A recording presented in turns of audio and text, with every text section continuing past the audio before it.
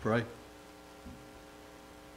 Our dear Heavenly Father, we come before Thee thanking Thee for this opportunity that Thou hast given us, the blessings of this day that we've enjoyed, and to see Thy glory throughout all the day and the beauty of it.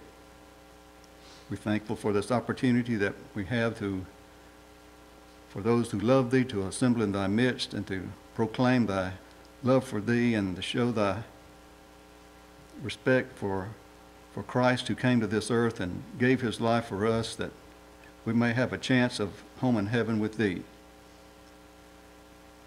We pray for all the members of this congregation, dear Lord, that have come, who assembled here. We, Thou knowest every one of us and every one of us uh, private struggles that we go through. And we ask Thee for strength to be the example that we should in this life.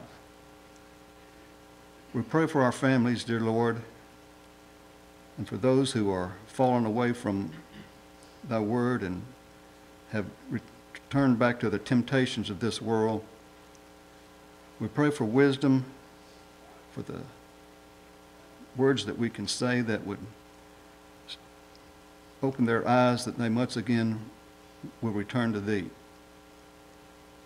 And for all of us who have talents of this congregation, dear Lord, we pray that we can use them to the elders of the, whatever that they need for us to do. We pray for their wisdom to look to Thee for guidance in this congregation.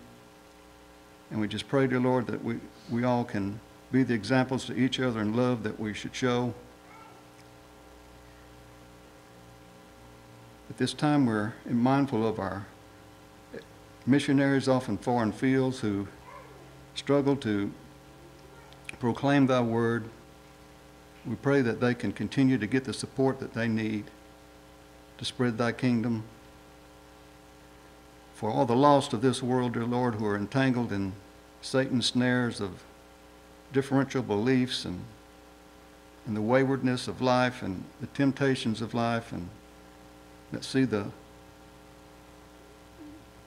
the examples of this world that they are more inclined to live instead of after thy word and we just pray that thou will be with the, them and open their eyes to, that they may come to the truth. We're mindful of our government at this time dear lord as, as the confusion and and the lack of moral guidance that we have in this country. We pray, dear Lord, that we can elect leaders who are more inclined to thy word, that we can once again be known as a God fearing country. We pray for our first responders and our soldiers who are often foreign fields and in the wages of war here in our street. We ask thy, that thou will be with them, protect them. And dear Lord, we just pray for this country and that we can continue to be steadfast and unmovable as Christians as we ought, regardless of what this world does and where our leaders lead us. We know that we're always looking to Thee for our strength, and we pray that we can be Thine example. We pray for Brother Carter as he stands before us tonight that thou will give him a ready recollection of those things that he is prepared to say and that we can take them and apply them to thy lives and be the Christians that we ought. We pray that we'll go through the further portion of this service and may all things be done in according to thy will. In Christ's name, amen.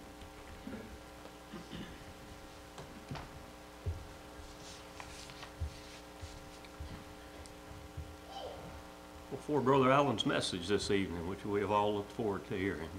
We'll sing, not that song.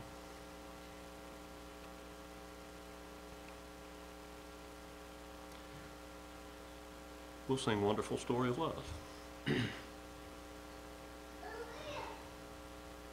Let us sing. Wonderful story of love, tell it to me.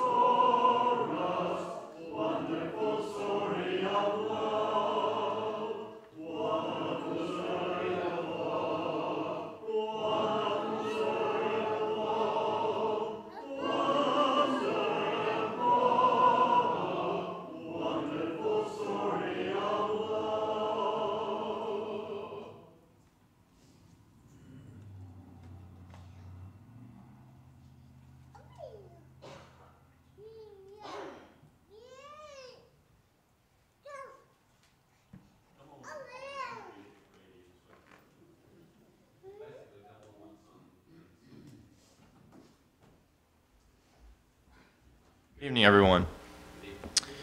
I want to thank you all for giving me this opportunity to be up here tonight to speak to you. I think it is a great thing that New Year's Day decided to fall on a Sunday this year because we all get to spend it with each other and we get to spend it with God's people. And I have the unique opportunity to be the second sermon you have heard in the year 2023. So hopefully it's a good one and you don't throw tomatoes at me as I go out the door. But let's hope that it's a good one. This new year, for many people, is a year of new beginnings. We all know the classic thing where people decide to have their New Year's resolutions to maybe get back in the gym, to start eating better, to start focusing on different things in their life more than other things. But for the beginning of the year, it seems, for the first couple weeks, everyone wants to start anew. They want to try something new, do something new, be something new. This past January, so in 2022, the beginning of January, I decided to do one of those things and I decided to start going back to the gym with the mindset of losing weight. A year later, almost a year later, it would be next couple weeks, um, I have been going to the gym consistently, eating better, trying to better myself physically, and I have lost 35 pounds. It's been a very difficult and very challenging at times journey as I've decided to be consistent and be vigilant in my exercise and what I eat and what I do on a daily basis to better myself physically. Now, looking back at my life, this is probably one of the greatest transformations and commitments that I've ever made for myself. However, there was one transformation in particular that was greater than any other transformation I could possibly ever make for the future of my life. The year was 2016. I was at church camp in Bandina, Texas, or actually in Bandera, Texas. The camp was Camp Bandina. And the preacher had just finished a sermon about being lost. He had told this story about a woman who went hiking somewhere in Colorado and she got lost on the trail. And many days later, she died. But the thing was, she died only a couple miles away from a major highway and a major road where she could have had rescue. And he compared that story to sometimes as Christians we get so close to salvation, but we just don't quite get there. And he offered the invitation, and just God was working on my soul that night. And I made the decision to be baptized on that night in that summer at that particular church camp in that particular year, and it would change my life for forever on that night, I became a member of the church and I became a Christian. And my life was begun new and ultimately would affect my eternal destination as well. Like many here, I made that decision to have a new beginning for my life spiritually. I was no longer going to live for myself. I made the decision to no longer live for myself, but I made the decision to give my life to God. I had a clean slate to begin anew and to live differently than I was before. When thinking about new beginnings, there's a verse that comes to my mind, and that's Romans chapter 12. So if you have your Bibles, turn with me to Romans chapter 12. In Romans 12, Paul is talking about being a living sacrifice, and he's talking about being transformed and being different from the world. He starts by saying in verse 1 of chapter 12, I appeal to you, therefore, brothers, by the mercies of God, to present yourselves or to present your bodies as a living sacrifice, holy and acceptable to God, which is your spiritual worship. Do not be transformed to this world, or do not be conformed to this world, but be transformed by the renewal of your mind, that by testing you may discern what is the will of God, what is good and acceptable and perfect. When I read this verse, a few things come to mind. One of those being that as a Christian, we are to look different than the world around us the Apostle Paul makes it clear that if we are to be a Christian, that and if we are to be acceptable to God, that we cannot look like the world. We cannot conform to the world, but instead we have to be transformed. And we are transformed by the renewal of our mind. And ultimately, that renewal of the mind can only happen because of Jesus. You can only have your mind changed, your actions changed, and the way you live changed by giving your life to Jesus.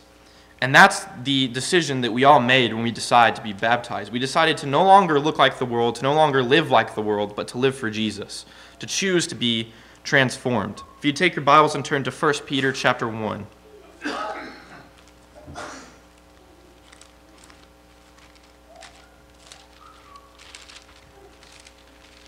In 1 Peter chapter 1 and verse 3, it tells us exactly how are we it tells us exactly how we are born again into a new life in verse 3. 1 Peter 1 3.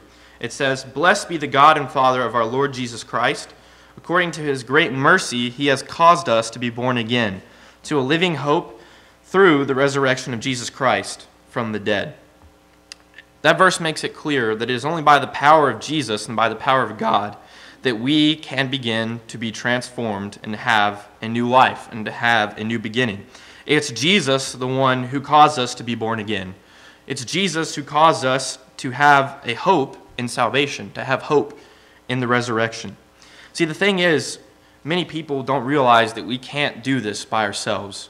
There's no way we ourselves can work hard enough and do enough work to get to heaven. That's not what the Bible teaches. It's only by God's grace and mercy that we are able to make it to heaven. It's only by Jesus that we can have a new life. See, this change, it's not an instant change. It's not something that happens overnight, and it's not something that we can do by a one time decision by being baptized. It's a lifelong journey. See, in 1 Corinthians chapter 9, starting in verse 24, it tells us this, if you would like to turn there. 1 Corinthians 9, starting in verse 24. In 1 Corinthians 9:24, Paul writes this to the Corinthian church. He says, "Do you not know that in a race all the runners run, but only one receives the prize? So run that you may obtain it. And every athlete exercises self-control in all things. They do it to receive a perishable wreath, but we an imperishable. So I do not run aimlessly, I do not box as one beating the air, but I discipline my body and I keep it under control, lest after preaching to others I myself should be disqualified." See, even the great apostle Paul needed to constantly discipline his body. He, like an athlete, had to every day practice what he preached. And that's the same thing we as Christians have to do if we are to live a transformed life. We can't just make that one time decision to be baptized and think we're good to go for the rest of our life. We have to make the decision every day to be different, to be different than the world, and to live our life for Jesus. Luke chapter 9, verses 23 through 25, shed some light on this, if you would like to turn there. Luke 9, 23 through 25. Here, Jesus is speaking to his disciples, and as he's talking to his disciples, he tells them what they want to hear, or he tells them the qualifications of someone that wants to follow him. And he says in verse 23 of chapter 9, he says, And he said to all, all being the apostles, if anyone would come after me, let him deny himself and take up his cross daily and follow me. For whoever would save his life will lose it, but whoever loses his life for my sake will save it. For what does it profit a man if he gains the whole world um, and loses or forfeits himself? If we are to be a new creation, if we are to be Christians, if we are to have a different life and one that lives for God, we have to deny ourselves not only once when we are baptized, but like Jesus says to his apostles here and those who all follow him, he says, Let him deny himself and take up his cross daily. If we are to be transformed, if we are to have this new life, we have to let go of living for ourselves. We have to let go of doing what we want to do because when we made that decision to be baptized, to be transformed, and to live a new life, we gave our life to God, and we, in that action, said to God that our life is now yours, God. And if we did that, if we made that commitment, then we no longer live for ourselves. We have to deny ourselves daily and constantly. And we have to pick up that cross and continually commit ourselves to God. When I look at this verse, I think about what the cross meant. In that time, people would look at the cross and they would see a symbol of suffering, a symbol of shame, a symbol of something that's to be feared. And Jesus told his disciples, if you're going to follow me, that's the symbol you have to bear. That's the burden you have to bear. You have to bear the cross daily. You have to commit to following me daily. You have to daily say, I don't live for myself anymore, but I live for Christ. Turn with me to 2 Corinthians chapter 5. 2 Corinthians chapter 5 and verses 16 and 17. In 2 Corinthians 5 16 and 17, Paul writes this to the Corinthian church. He says, From now on, therefore, regard no one according to the flesh. Even though we once regarded Christ according to the flesh, we regard him thus no longer. Therefore, if anyone is in Christ, he is a new creation. The old has passed away, and behold, the new has come. See, we are a new creation, and if we are a new creation, we have to put away our old self. We have to put away the, we, the way that we acted, the way we talked, the way we interacted with people when we were not Christians, we were not baptized. But now that we are a new creation, now that we are baptized, we have to be different. We have to have that new beginning, and we have to be different to people and to each other and the way that we act. See, what becomes clear is that it's impossible to have a new beginning spiritually and in life without Jesus. It's impossible to be transformed without Jesus and without constant daily discipline and renewal of one's mind and actions because we're a new creation. I firmly believe that in order to fully begin to transform and to renew ourselves and to become different from our old selves is that we have to fully surrender our lives to God and to His Word. This is not a one time thing like baptism, because at baptism, we didn't just make a decision that, that would last for eternity. We made a decision and a commitment that would last to eternity. That commitment is to God and to living for Him. Often I see too many Christians, after they are baptized or after they've been in Christ a long time, they look at the Bible and they interpret the Bible in a way that they think the Bible should say, a way that they, uh, a way that fits their lifestyle. They look at the Bible and they point a description. They say, "No, no, no, eh, that's not what it means. This is what I can do. This is how I should act because that's what fits my lifestyle the best. That's what fits how I want to be treated and how I want to treat people the best, whether it be right or whether it be wrong." I, I, I, firmly believe that if you're to be a Christian that is fully surrendering to God, you must read the Bible and let the Bible speak for itself. You cannot tell the Bible what it should say or tell the Bible what it means or make the Bible fit to your lifestyle. That's not how it works when we are baptized, and that's not how it should have worked when we decided to commit to God. Because if you read about that, it's all about surrendering, giving our lives to God. Because in that moment in time, we need to live to what the Bible says. That's the commitment we made. The Bible becomes what we need to live by. Not what I think the Bible should say, but what the Bible says. That's how we should live. And that's how we should conduct ourselves. That's how we should view the world through the Bible. Because, you know, you have many people that view the world through different lenses, whether it be through what they were taught by their parents, taught through school, taught by the government, taught by the culture. It doesn't matter. If we made the commitment to be baptized and to be a member of the Lord's church, we no longer live by ourselves. We live by what the Bible says, and we live by God. There is this particular story that comes to mind when I think about these things. See, sometimes people, I feel, uh, Christians, I mean, I, I see many Christians that want to live so close to the world, but yet try to live so close to God that they have one foot in the world and one foot in Christ. And that just doesn't work. There's, there, this story comes to my mind. There once was this village. And in this village, there lived many, many people. Thousands, million, however many people you want to imagine. There lived many people. And around this village was a fence. And beyond the fence, it was just fog. They couldn't see anything. And, you know, life in the village was not too bad. Everything was okay. People were fed sometimes. Sometimes they went a little hungry. People had enough to drink, and sometimes they didn't. You could be successful in the village, but sometimes it would not be so successful. Things were just okay. And then one day, this mysterious man appears on the other side of the fence. And see, while he's on the other side of the fence, he's telling all the people who can hear him that he knows of a far off place where you'll never go hungry, you'll never thirst, you'll never die again, and it, will just be the greatest thing in the world. But the only way that you can get to this far off place is if you hop the fence and follow that man. For you can only get to that place through that man. That's the only way it'll work. And after this man had told this story, many jumped the fence, but many also stayed.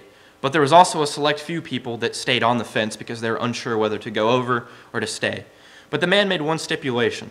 He said, I'm only coming back one more time at an undisclosed time. And when I do come back, this will be the last time I come back. And if you're with me, you're with me. And if you're not, you're not. So then the man left with the people that decided to hop the fence with him. And then one day he came back, many, many years, however long later, and he told the same story. And many people decided to once again jump the fence, but many people also decided to stay back, and many people decided to stay on the fence. See, the thing about this story is the man, the mysterious man, is Jesus. That village is the world, the people in it are us, and Jesus came to this world, and he offered a place for us to be that where we wouldn't die, we would never hunger, we'd never thirst. And he said, I'm only coming back one more time, and after that, that's it. And see, the thing is, there are too many people on the fence. There's too many people living in the world and too many people on the fence. And the thing is, you have to make a decision because guess who owns the fence? Satan owns the fence. You have to either be all in or all out when it comes to Jesus. You see, when you think about being transformed, you can't just be half transformed. That's not what transformed means. Transformed is when you're completely something different than you were before.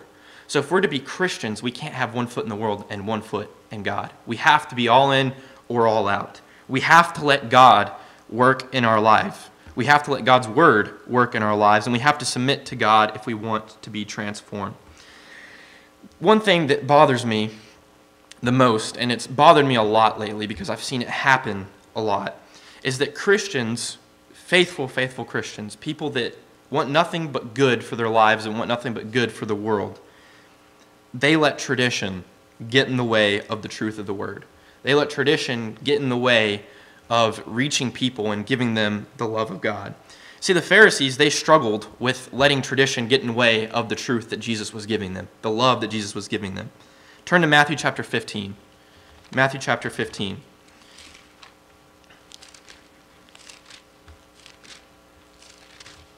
In Matthew chapter 15, verses 1 through 9, Jesus is dealing with the Pharisees in this particular situation. And uh, verse 1 it says, Then the Pharisees and the scribes came to Jesus from Jerusalem and said, Why do your disciples break tradition of the elders? For they do not wash their hands when they eat.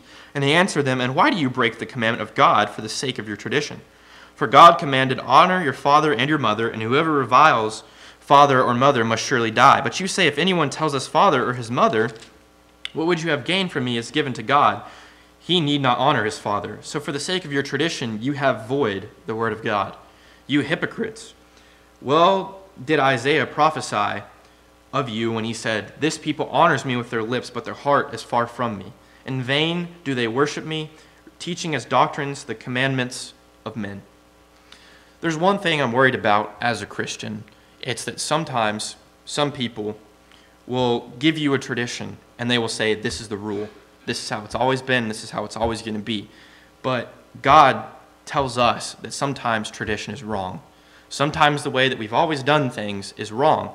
And that's why when I say that we have to fully surrender our lives to God, that what I mean by that is sometimes what I think and how I think things should be is sometimes not the, the way things should be, and sometimes not the way that God wants things to be. So that's why it's up to us as Christians to be students of His Word to discipline ourselves daily and to listen to what God has to say daily so that we do not fall in the same trap as the Pharisees did in putting tradition over truth. As Christians, if we want this new beginning, if we want to be transformed, I think the one tell should be how we interact with people, how we are viewed by the people of the world. Because if, like Jesus, when people looked at Jesus and his apostles, they immediately knew that they were different. They immediately knew that there was something different about them and the way that they acted, the way that they talked, the way that they treated people, because it was different than anything that had ever been seen in the world. The same goes for us as Christians. If we're to live a transformed life, we have to look different than the world. Turn with me to John chapter 17. John chapter 17.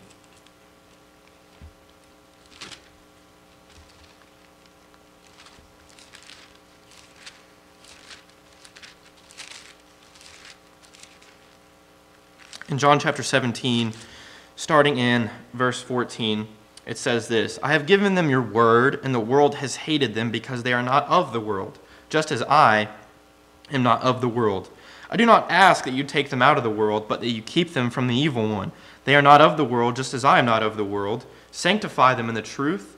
Your word is truth. As you sent me into the world, so I have sent them into the world. For their sake I consecrate myself, and they also may be sanctified in truth. See, the thing is, we may be in the world, but we have a higher calling than that what this world has to offer. God came down in the form of Jesus, and he offered us something that is way higher than anything this world could ever give. And when we chose to make that decision to become Christians, we chose that life. We chose to be set apart from the world because of God's word. We chose to be set apart from the world because of God's truth. So we have to be different if we are to be God's people. We have to be different. As Christians, I think it's also important to remember that uh, we, we can't continually be like the world. We can't continually choose to sin and choose to live that lifestyle we lived before being baptized because then that just foregoes the commitment we made when we chose to be baptized. This is made clearer by when Paul was writing to the Romans in Romans chapter 6. If you would like to turn there, Romans chapter 6 and verse 1. Paul writes there, he says, What shall we say then? Are we to continue in sin that grace may abound? By no means. How can we who died to sin still live in it? Do you not know that all of us who have been baptized into Christ Jesus were baptized in his death? We are buried therefore with him by baptism into death, in order that just as Christ was raised from the dead by the glory of the Father, we too might walk in newness of life. I would like to highlight that part that in the uh, end of verse 4 it says that we too might walk in newness of life. See, the thing is, what good does it do if we decide to walk in a new life if we continue to live like the old life? If we continue to sin, continue to live like we used to, what good does that do for the sacrifice that Jesus made? It, it totally spits in its face, it rubs dirt in its face. We're basically telling Jesus that his sacrifice was for nothing if we choose not to be different. I think that in order to be transformed, like I mentioned earlier, we have to be different in the world. And one thing that I think that would help people to realize that we are different is in the way that we treat people and in the way that we view the world. See, personally, I struggle with doing that sometimes. I myself, like hopefully many of you, love God's word and love God. And it's hard for me at times to watch people in the world blatantly spit and just trample all over God's word. Uh, you know, I think about the people of the, the homosexual community, people that promote ungodliness and they call it good. And they call it love and they call it all these things. It makes me angry. It makes me upset because I know it's wrong, because I know that it's spitting in the face of God and it's sin. But the thing that I think about is the fact that when I think about where the anger is coming from, I realize sometimes that I'm angry at the person and not the sin. And, and that's at times where I have to check myself and I have to say, you know what, that's not right. It's not right for me to be angry at that person because they don't know. They don't know God's word. And, and I have no right to be angry at them because at one point in my life, I was just like that person. I was a sinner who was lost.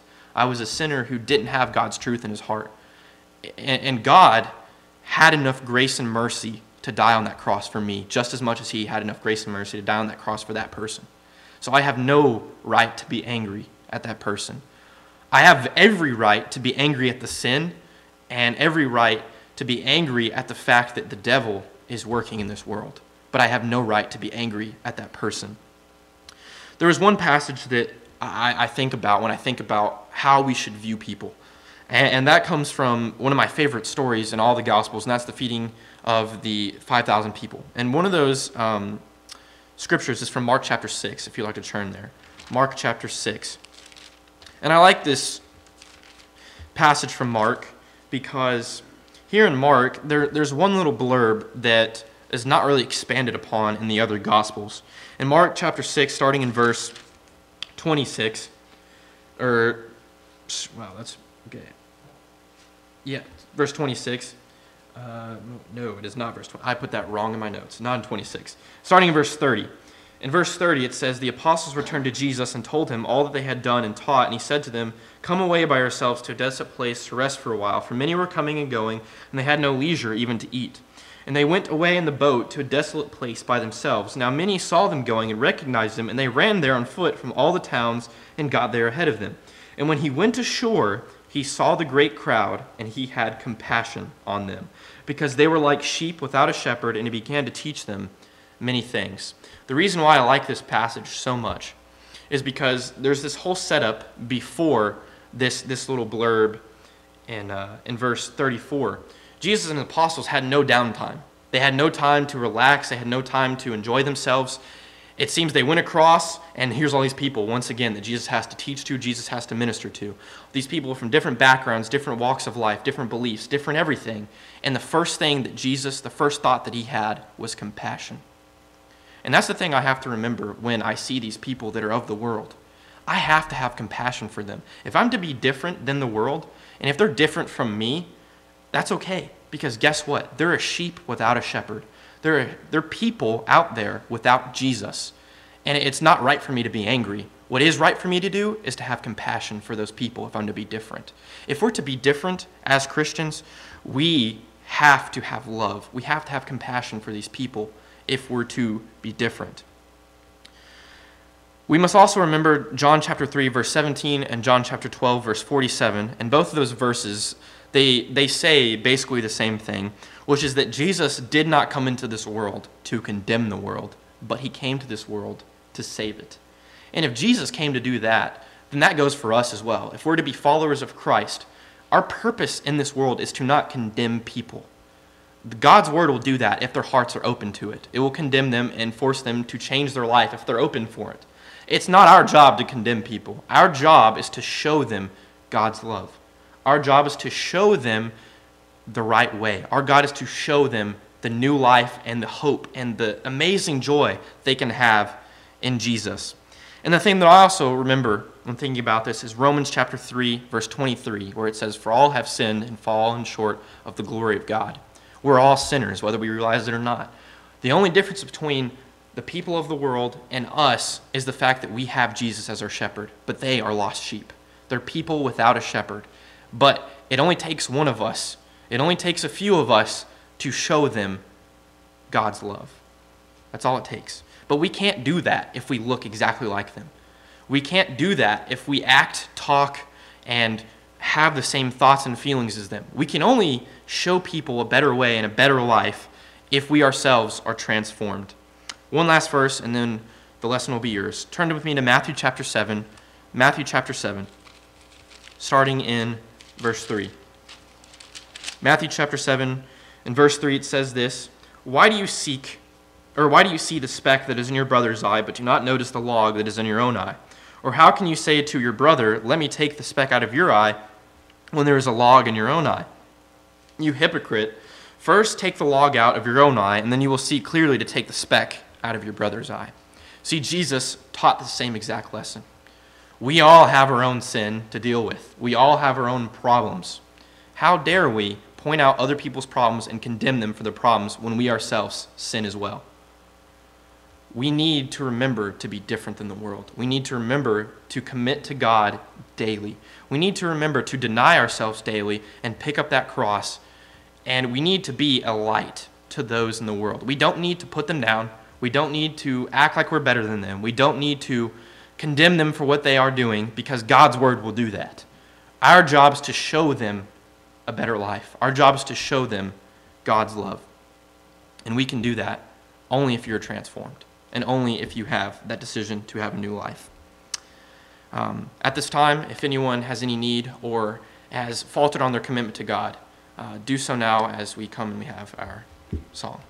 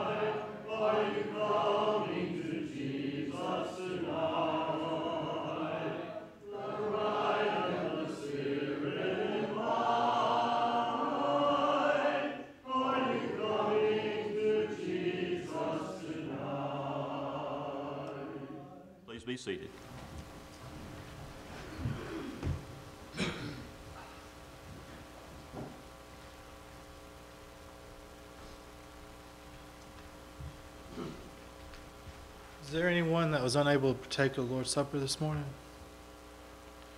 There anyone like to contribute to the work of the church tonight?